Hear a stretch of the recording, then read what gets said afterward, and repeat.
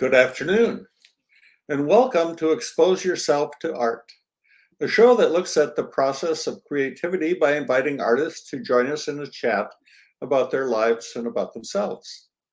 Today we have a very special guest, Gabriela Guerrini, uh, who is the executive director of the State Theater. Uh, I'm not sure about her artistic background, but running the State Theater means that she's in charge of one of the central facilities that has everything to do with the art in our community. So why don't we bring her on, say hello, and talk about uh, all the things that are going on at the State Theater. So welcome, Hello. Gabriela. Hi. Nice to have you here today. Thank you for having me. I appreciate you asking the state to be part of this. Sure. Okay. And um, before we get into talking about the, the wonderful programs that go on at the state, uh, how about sharing with us a little bit about yourself, where you come from, yeah. and especially how you got uh, connected up with the State Theater? All right. Well, we'll start way, way back. No, I uh, grew up in the Bay Area, uh, uh-huh. Cupertino, uh-huh. Sunnyvale area. And um, I was just kind of lost there. My mom moved to Oakdale and she had, you know, said, why don't you come and check out Modesto? so that was uh, 92. So I'm, I've been here since then. Uh-huh. And uh, pretty much my entire life has been spent um, working behind a bar or waitressing. Uh-huh. And um, my mid 30s, I decided to uh, start college. Uh, uh-huh. And I went to school at MJC and then Stan State. And I, um, after getting my master's, I went and taught ESL for a while ah. at uh, Modesto Junior College, which I love, love, love, love my uh, ESL students. Um, but when you're in your mid 40s with teenagers and a household to keep up, being an adjunct professor is hard to do. That's meant right, for right. young 21 year olds uh, fresh out of college to be driving around everywhere. And so uh, one of my classes had uh, been canceled one semester, and I was just desperate to work. And uh, Sue Richardson, our executive director at the State Theater at the time, was looking for a concessions manager. And we just um, had some mutual friends, and they told her that Gabby would be amazing at that job. Ah. And I loving the state, being a regular at the state, uh, it was just a perfect mix. So I've been ah. there six and a half years now. I started uh, with Sue Richardson as the uh, concessions manager.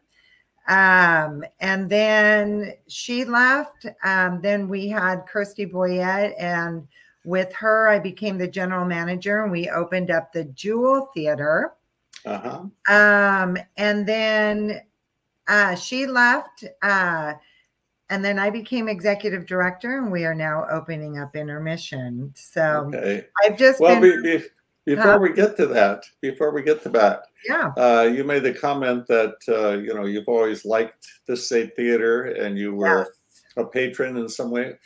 Uh, tell me yes. about that because uh, the State Theater plays an important part oh. in the, in the in our community as far as you know the things you present and it's it's kind of one of the main centers yes okay? it is yeah. um since uh, 1999 i have worked downtown i opened up Dewz restaurant um, and worked at many restaurants and bars downtown and the state theater is just this iconic location and theater that at at the time, um, mostly back in the early 2000s, people always complained that there was never anything to do. But all you had to do was go look at the State Theater. And I was already always downtown. So I always felt a very big connection to the theater. um, uh-huh. and went and saw many concerts, many films there. Uh, so yeah, so it's always been a part of my life since I started uh, living in Modesto. Uh-huh. It really has, yeah. And I think for you and a lot of people. Yes, and community has really been a huge part of my life as well. Um, Modesto always gets a bad rap, and um, I always believe that if you're living somewhere, you can try to make the place better um, while you're living there. And so I, uh, and everyone has their own little uh, strengths to do. So I was part of the, um, I was the director of volunteers for the Modesto Marathon for about a decade. Um, and then the race director for a couple years. But I always loved being part of that. Um, I just always thought it was such a cool thing to have as part of Modesto. And so wait a minute, wait a minute, wait a minute. Are you a marathon runner? I used to be, yes, a marathon oh, really? runner. Uh, I used to run long distances on trails. Um, I ran up to a 50K, which is about 32 miles up in Auburn. So, Jeez. yeah, it's, it used to be my big passion. And then I, um, blew out my Achilles, and so cannot do that any longer. Just have to yeah. do short little treks here and there. But okay. I loved being part of that community, and it brought so much positivity to Modesto. Yeah, uh, just like the state does. Yes, yes. So um, I had mentioned because I don't know much about you at, mm-hmm. at this point. Um, is that we usually have artists on here. Is there yeah. any art in your background? No, not in mine. Um, okay. But I have raised a beautiful daughter who is a musician and plays a stand up bass. Um, she's just very passionate about music.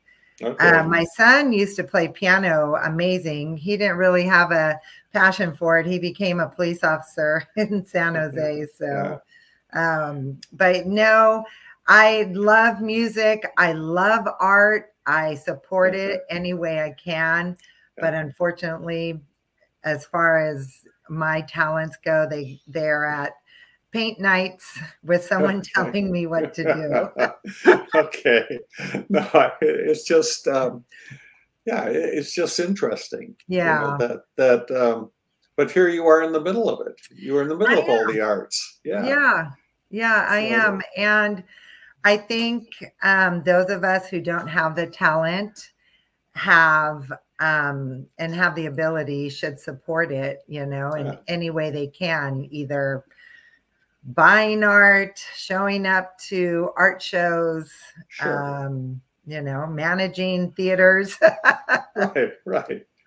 Yeah. Well, anyway, you're immersed in it. Yeah, yeah. I am immersed for sure. It. And you mentioned something uh, before we get on talking about mm-hmm. the intermission, you mentioned the Jewel. Uh, yeah. Tell us, tell us about that. Uh, so the Jewel is our 25 seat um, little micro cinema that uh, we opened up in December of 2019.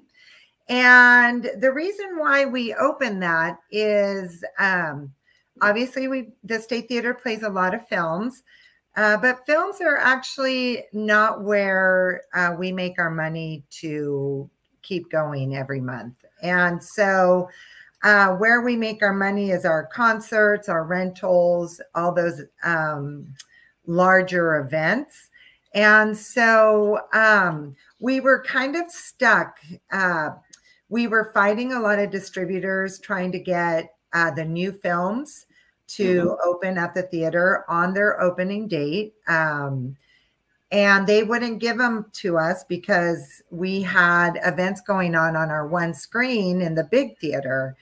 And so uh, opening up the second screen has really opened up a lot of opportunities for us because now we can continue doing these big events that are what actually bring us the money to continue. But we can also start bringing in all these films that we really feel the theater should be showing. And we're able to get them now because now we can play them on our second screen while something else is going on on a friday or saturday night ah Okay. Yeah. So, so distributors uh, don't have a limit on how many seats you have or something like that? No, they don't ask. But Oh. now, um, with a lot of these um, bigger theaters, you know, they've really tightened up their screening rooms and they only have maybe 30 or so. Obviously, they have a lot more screens, but uh, they don't ask. And we put it in our 500 uh, seat theater when Uh-huh. off nights. Um, but yeah, so we're really excited. The Jewel has been amazing for that. And it's also been amazing. Uh, we rented out uh, for a three hour uh, rental. We've been getting so many people loving to do their kids' uh, birthday parties in there, anniversary parties. Uh, with the uh, 25 seat limit, it's a perfect little spot, and you have your own little door that goes into the lobby, and you have concessions there, your own restroom. So it's a Oh. great little space. Yeah. Oh, wonderful. Yeah. So anyway, now one of the biggest reasons uh, we asked you Ah. on and you you wanted to come is that you've recently opened a new part to the State Theater complex. Yeah. Well, not quite open yet. oh, So not quite. Oh, okay. not quite. We are hoping to be open by late October. Okay. Uh, and our new space uh, is intermission. And that uh, took over the old check cashing place on the corner of 13th and J, uh, which had actually been there for, I believe. There we go. yeah, we there you go. Yeah. Um, I believe the check cashing place had been on that corner for about 40 Yes. years. yeah. Yeah, uh, someone just shared a photo with me from 1984 when the check cashing place came downtown. Pretty incredible. So we uh, took that over. Uh, the board had um, some amazing ideas wanting to open up this 1930s lounge. Um, it's all ages. It's going to be this amazing community space. We're going to hold paint nights in there. It'll be home to our film school. Um, we'll have poetry nights in there. Uh, we'll just be open regular hours, Thursday through Saturday, 4 to 11, um, and then Sundays, 12 to 5. And anybody will be able to come in and enjoy an espresso or a cocktail. Uh, the inside is decorated in 1930s Art Deco. Um, as you can see, this beautiful mural behind me. Yeah. There it is. Oh Yeah. my goodness. This mural was painted by Sam Dominguez, an amazing local muralist. Um, he has, I believe, one or two murals downtown, and he also just did the mural for the uh, Center for Human Services home that opened up, I believe, on 9th Street. So he has a lot of art in Modesto. He's done a few schools, and he came up with this gorgeous, gorgeous uh, mural for us. And this is behind our bar. And she is just breathtaking. I just, it, she really just sets the tone for the entire space. And um, Is there a story? Is there a story connected with this? No. Uh, no, no. No, he just, uh, we asked him to come in and get a feel for what we were doing. Uh, Nikki West came on, um, donated her time as our interior designer. And her and uh, Sam had a few discussions about what she's thinking. And she just wanted an artist to come up with what they felt the space needed. And this is what he came up with. Oh, Yeah. it I- fits. it fits the um, what Art Deco decor. Yeah, it sure does. ways. Yeah. It Oh sure does. And uh, when you see it in person with all the furniture and the wallpaper up, it's just breathtaking. When you walk in the door, it's really just takes your breath away when you see her up there. So yeah, so intermission, we're so excited. Uh, so um, like I was saying, we're going to be open regular hours. We're going to have nights on our off days, uh, Monday, Tuesday, Wednesdays, where we'll be doing special events. Um, people could rent intermission. Uh, we're going to have a very classic uh, cocktail menu. Um, we uh, have very um, old school Uh, drinks on there, Okay, like like what, for like old fashioned. Oh, good. I'll be there. I'll be there. yeah. Um, a really good Manhattan, a great dirty martini. Um, I Ah, always say it's going to be a very grown up bar because we're not going to have any flavored vodkas or whiskeys. and um, we have an espresso machine, uh, Oh. Gretchen Peak with uh, Clayton's Coffee. Um, will be um, using Clayton's Coffee, and she came in and helped us with a great espresso menu. And so we'll be serving some fabulous um, coffee drinks. And then um, I hired a, uh local young lady, uh, Gabby Aiken, who's going to be our kitchen manager, chef, and we will have um, a tiny menu, about four items per night, just little bites. Uh, nothing that is going to really fill you up for dinner, but either before or after dinner um, bite for you, and we'll have a couple desserts. ah, Yes. so so is this space going to have regular what, what would I say open hours? Yes. Or is it or is it just going to be for special events? No. So we will have uh, regular hours uh, Thursday through Saturday from 4 p.m. to 11 p.m. Okay. and then Sundays from 12 to 5. ah, And we're going to start with those hours and then we will adjust um, if we need to be open earlier or later um, as time goes on. We have uh-huh, a staff super excited, ready to go in there. uh-huh. Yeah. Wow, it's a beautiful space. It and, uh, really, it is just a gorgeous, gorgeous space. Um, it's not very big. Oh, we have a full AV system in there, so um, when you we uh, will do some rentals. Um, you know, we can host meetings, we can host birthday parties, movie nights, stuff like Okay. that. So um, that'll be behind the big red curtain. Uh, well, you certainly have one customer right here. I mean, you Oh, mentioned a couple of things, you know, old fashions, dirty Oh, martinis, and espresso. yes. So you've got our family. Yes, So excited to hear that. Yeah. Uh, to being get down at someone- the right time. Yes. Uh, being someone that's been in the uh, bar business and restaurant business pretty much my entire life, um, I was always very excited to open up a bar somewhere sometime that served really nice wines and very classic cocktails. Uh-huh. Um, we have right now, you know, if you go out, a lot of bars are doing amazing craft cocktails, but you can never recreate those anywhere else. And so I always like the idea of perfecting a good regular cocktail for our guests. Uh-huh. So, do you have any uh, groups or, or individuals lined up to rent this place already? Um, not yet. Uh, we do have um, most poetry.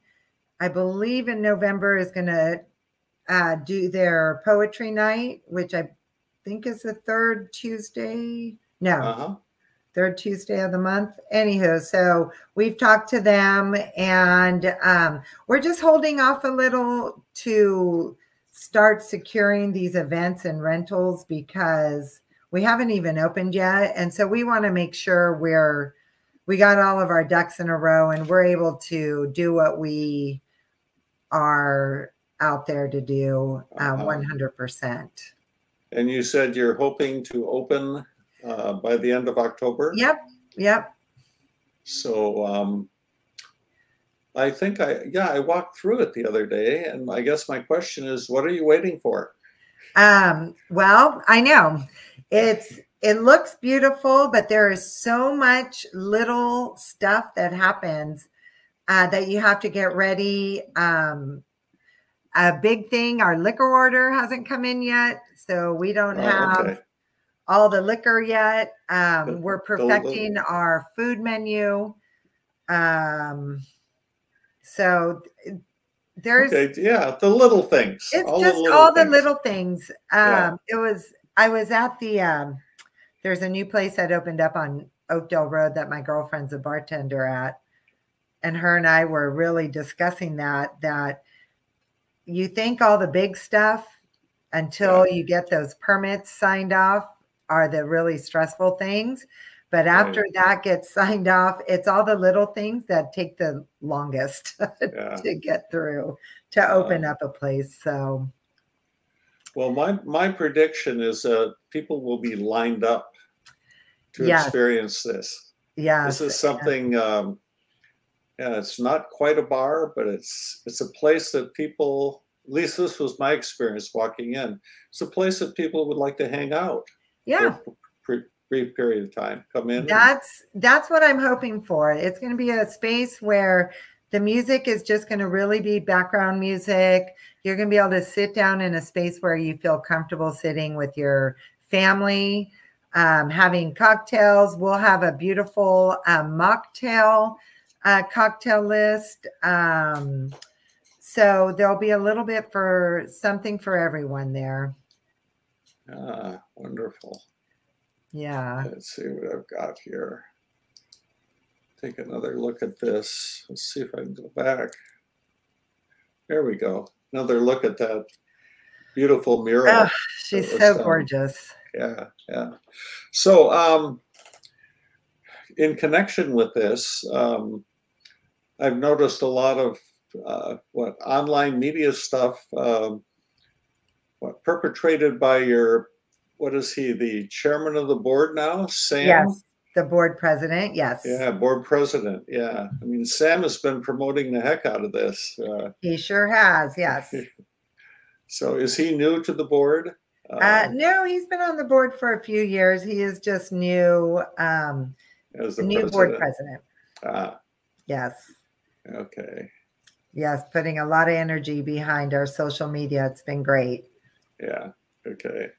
Well, may seem like we're going backwards, but Yay! let's go back and talk about the state in general. I mean, Oh my uh, goodness.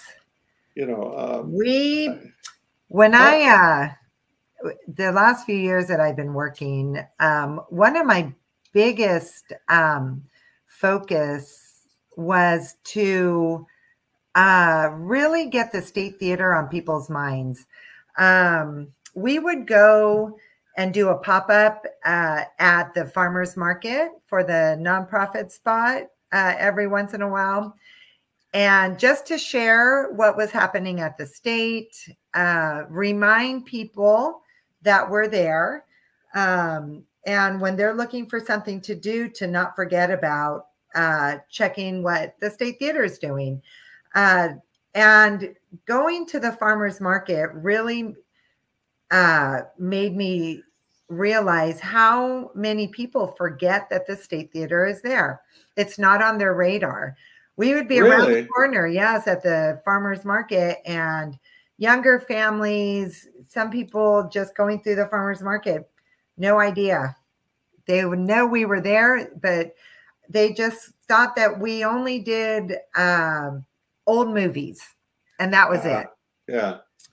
And so I've really been uh, trying to focus on getting the state theater on everybody's mind. Like, what are we doing this weekend? You know, you check the Gallo, you check the Brenden, you check, uh, you know, in Turlock. And I wanted the state theater to really be on people's radar. So we are slowly working and cracking that, you know, getting people to start remembering that we do so many cool things out there. And uh, part of that has been going to the farmers market, uh, doing First Fridays, uh, doing festivals. Uh, we put our uh, pop up tent there and we just start sharing uh, what's going on at the state. Uh huh. And so, uh, and a better uh, social media presence. So, all that has been working towards us becoming so busy. We have just, there is amazing things going on weekend after weekend, month after month. And um, like we have a great comedy show coming up this Friday night. Uh, Paul Rodriguez, uh, pretty big uh, comedian. And yes, I've heard of him. Yeah. yeah. And so, um, and we're also getting some amazing first run films. Uh, we had uh, Wes Anderson's last film, Asteroid City, got that on opening day. Uh, we were able to get the Elvis movie that came out last summer, um, you know, on opening weekend. Uh, we're I, wanna, getting, I want to stop you for uh-huh. just a second because you mentioned the latest Wes Anderson yeah. movie. So, what's interesting is we at the um, Stanislaus County Arts Council are running a large photo contest. Oh, uh, you, we can enter. People can enter between now and the middle of December, and it will be on display at Mistlin Gallery in February. But the point being that we are having a lot of sponsored events. In other words, people pay for it. Isn't just first, second, third prize. Yes, there are a lot of small categories, and one of them is somebody. Um, Bob Barzan, I think, yeah. yeah, Modesto Art Museum, donated uh, $200 for the best Wes Anderson like photograph. And it's been fun because uh, I would say half the people, maybe more than half the people uh, who see that go, What is that? Who is that? and then you tell them, and it turns out that most of us have actually seen the movies and liked the movies. Yes. But he has a very definite uh, look. He really does. Yeah. Um. So I'm going that, that I'm taking the time to talk about it. To, yes. Uh, tell people if you go to the State Theater, see the Wes Anderson yeah. movie, you, will get an idea of what's going on. I so. love that there is a category for that because yeah. his photography is so unique. Um, and we were so lucky to get his movie on the first run. Um, and then uh, we have coming up uh, the new um, movie Killers of the Flower Moon. And we would have never been able to get this movie on opening weekend if it wasn't for having the Jewel Theater open. Really? Yeah. So we're very excited. So, you know, good things like that are always happening. Um, and to pivot a little to more art related items, um, we play this fantastic series of films every year it's called Exhibition on Screen, EOS. And it's this company that puts together these kind of bioptic films uh, about artists. Ah. And um, we've had Vermeer, and um, our next one coming up is Klimt. And yeah, oh my gosh. Yeah. Yes. And so our amazing operations manager, uh, Trisha Sanchez, who is uh, a fabulous artist in her own right. Uh, she is works closely with the lady at the uh, Dragonfly, Barbara, and they got together and thought, in conjunction with these films, when we bring them, why don't we do a paint night? And so we have these amazing paint nights that right now we set up the tables in the lobby. They start at five o'clock. Uh, you have two hours, and then the film starts at seven. And Barbara uh, comes over from Dragonfly, and depending if the painting is a little more difficult, uh, she'll sketch them out first so that you have something to go by. So no talent needed. And uh, she takes everybody through this paint night. They talk a little bit about the artist and uh, their style. And they get to make this painting, and then they get to go in and watch a movie on the artist that uh, they have just painted. Mm-hmm. And it has become so fun. We have a group of people that have really just come to every single one. They're about every two to three months. Um, and they're just super fun. And of course, painting in the State Theater is just feels so iconic, you know, yeah. with the uh, chandelier above you and the gold uh, dome, um, and then being able to go watch the movie. And they're usually about 35 $40, and it includes the movie. Uh-huh. Um, we did a really interesting one a month or two ago uh, based on this movie called The Color of Ink. And we oh, found oh, yes. it. Uh, it was a gentleman in Canada who had put together this documentary um, about an artist that puts together inks with all kinds of natural uh, ingredients. And he sells his inks to all uh, types of artists all over the world. Uh-huh. And um, so that one was really fun because they came up with a, a painting that used ink and uh, really different, really fun.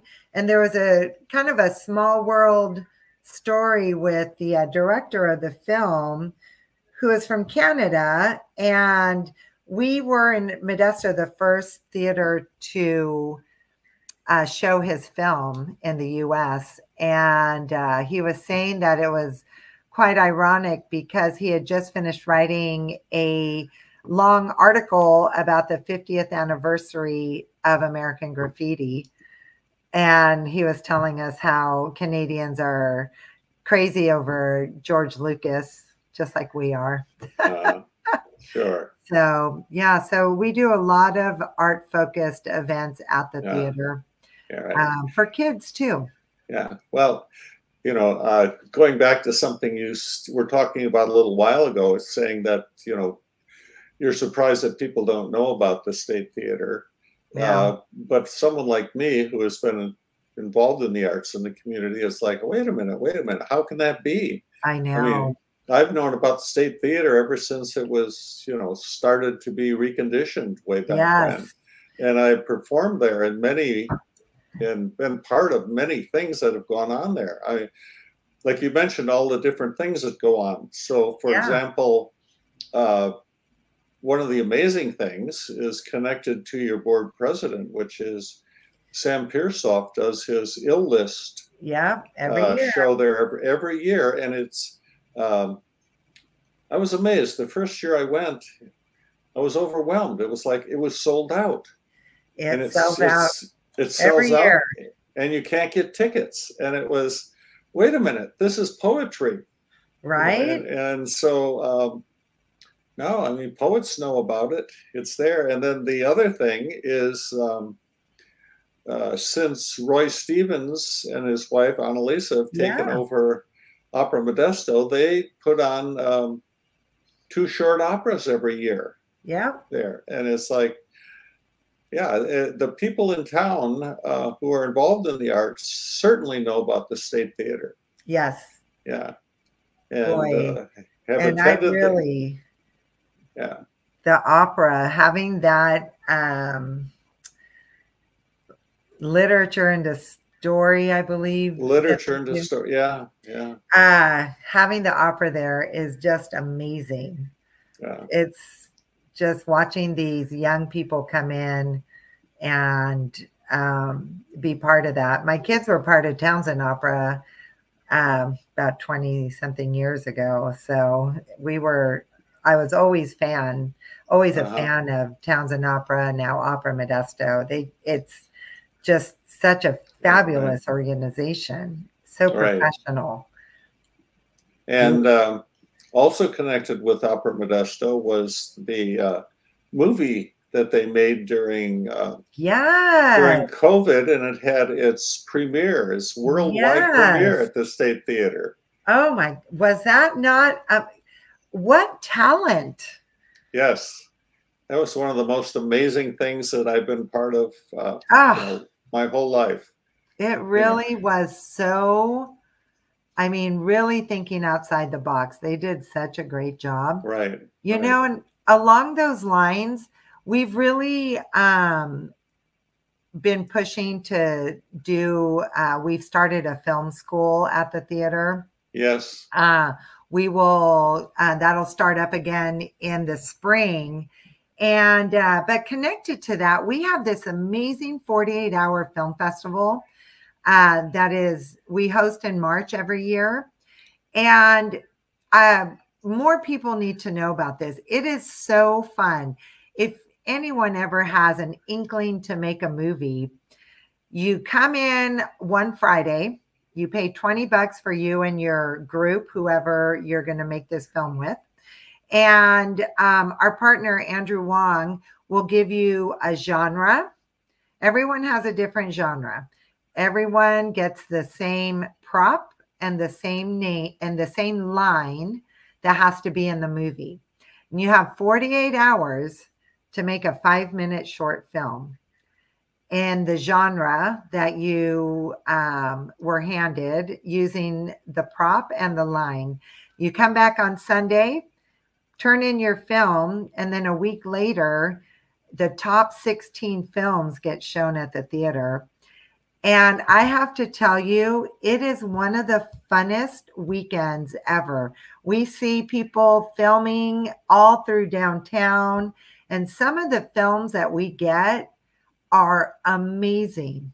I out of this world, and uh, it is such a fun weekend. We have parents with their kids. We have a bunch of high school kids together, adults, um, budding filmmakers. Just all walks of life coming to be part of this. And there's cash prizes for the top two or three uh, winners. It is fun. Yeah. yeah.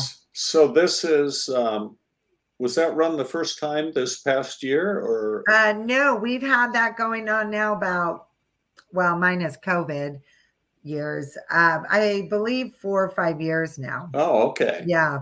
So and it grows so every year. Okay, mm-hmm. so when is when does it take place this uh, year? Not till March. So till the March, second, okay. yeah, second weekend in March, you come and second Friday, you come and pick up your um, goods, and then that Sunday you drop off your film, and then a week later we have the uh, premiere. Ah, yeah, okay, it's fun. So, um, as a representative of the Arts Council in town, uh, I'm hearing a lot of wonderful things. You you need to get us this information. We need yes.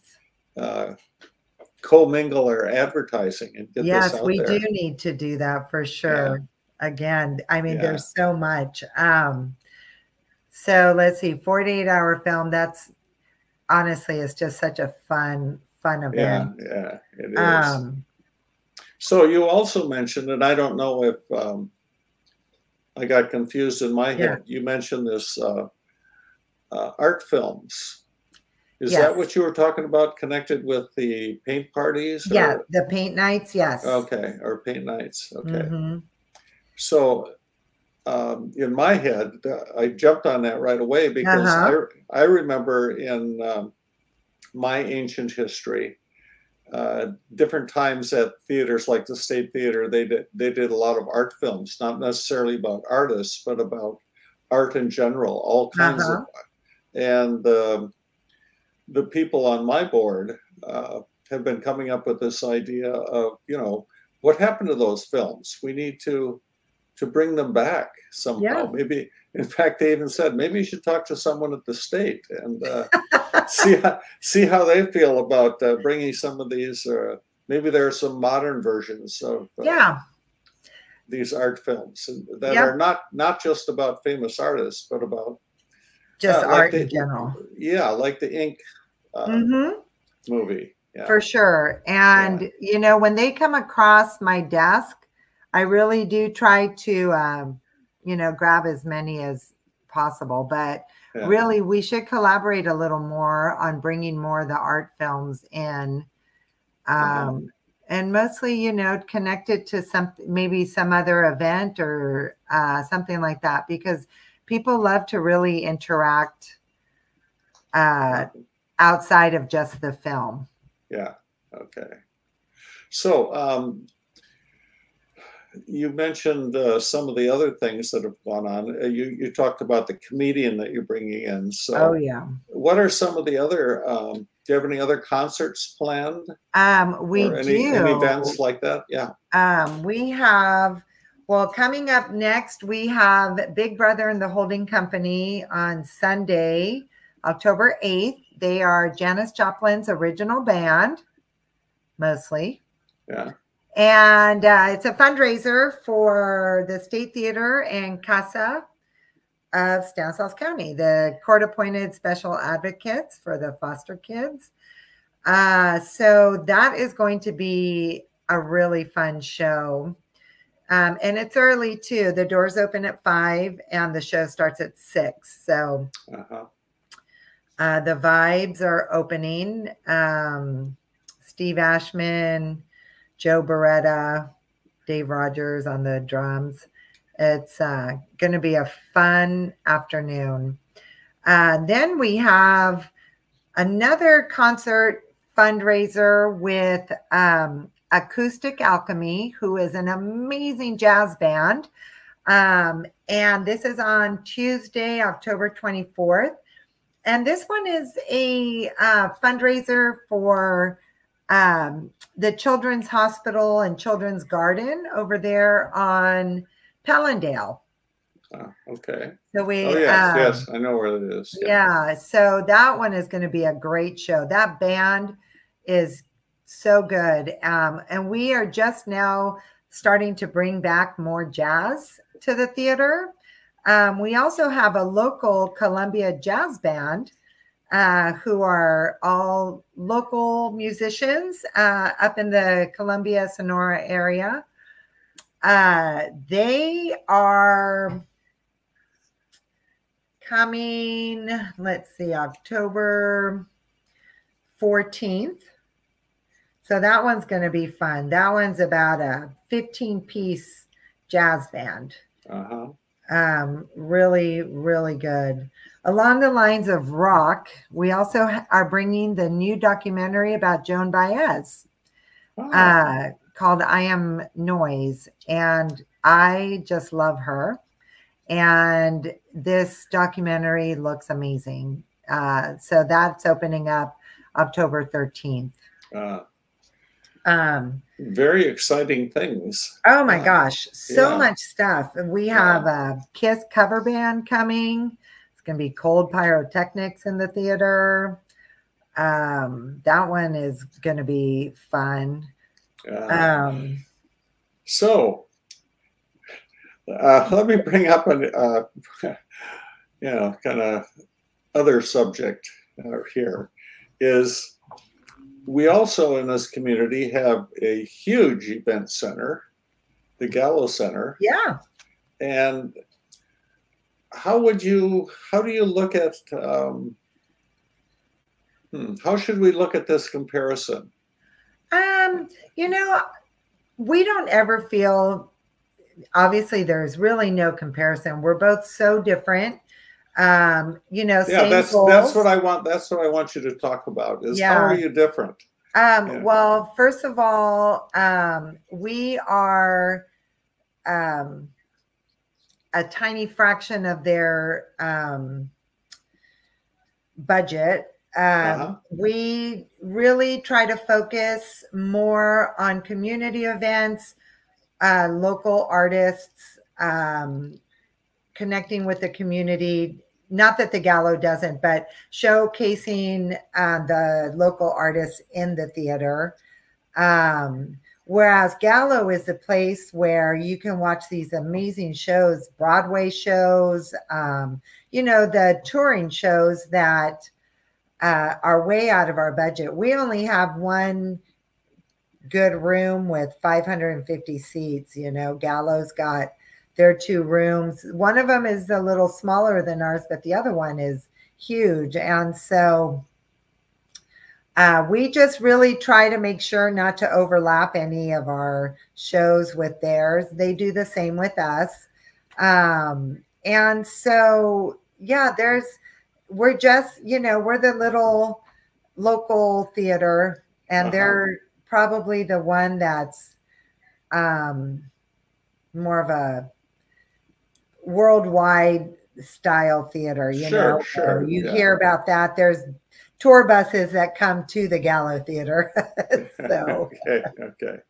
So um, another uh, follow-up question to what you're you were Mhm. mentioning these concerts you have planned. Um, do you, eh, eh, for example, the the one that's coming in that's a fundraiser for Uh-huh. these different different organizations?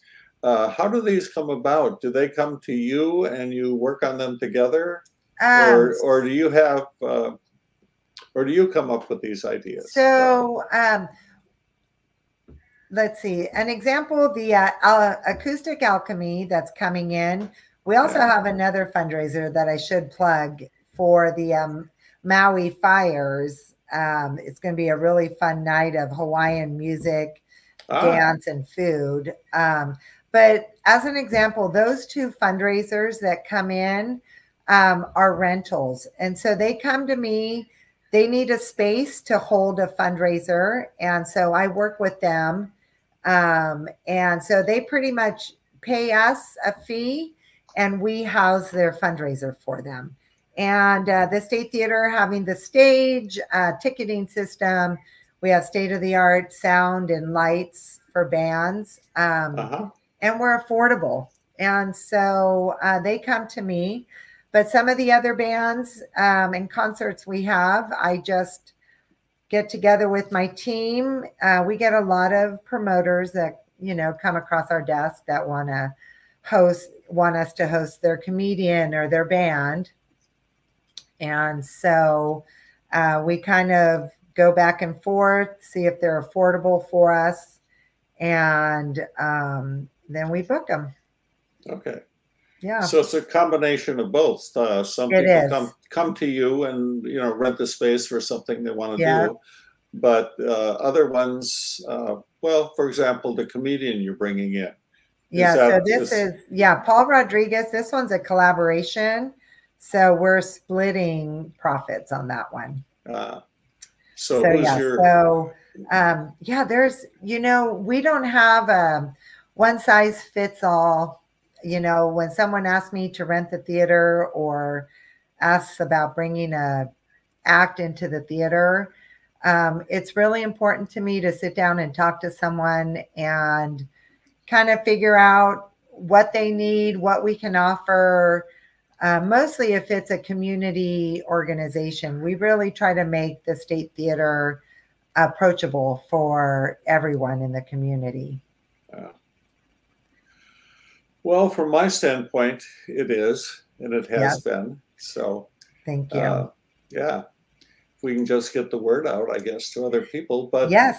but yes, it is share, share it is away. highly it is highly functional It is. you know the the uh, examples i gave you know uh, and maybe that is one of the big differences between uh, you know the big space and the little space is that Mm-hmm. you you do focus on the community Yes. and make this space available for artists of all types uh, we sure do. join up so Yeah. Yeah, we really love it. We started also this um we noticed we didn't have a lot of things for kids at the theater. And so uh, we started this great Saturday morning cartoon series where the first Saturday of every month, um, we show a movie at 10 a.m. But at 9 a.m., we have a craft hour that kids could come in and they, whatever the craft of the month is, um, they'll they get to sit and do a craft for free. And then they all get to go watch a movie. And we tickets are only five dollars. We go we sell we donuts. Anyone's ever been we to donuts. my favorite donut place. Um, for only a dollar which is a little less than what they pay they um, sell them for but we pay full price but we really want to make this uh, event very affordable for families and so it has really become an amazing event with 100 to 200 people, uh, kids coming in excited to do their crafts. So um, that one has been really just it's just so sweet to see all those kids in the theater so excited. All the oohs and the ahs. Right. Well let me yeah. see if we can there. Maybe this is a good place to start uh, wrapping things up yeah. Here. so this is exciting.